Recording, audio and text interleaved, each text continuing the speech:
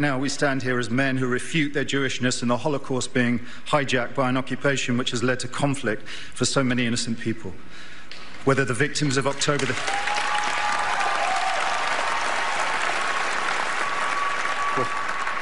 whether the victims of October the 7th in Israel or the ongoing attack on Gaza, all are victims of this dehumanization. How do we resist?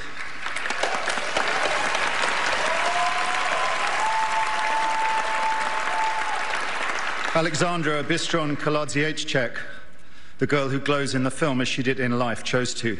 I dedicate this to her memory and her resistance. Thank you.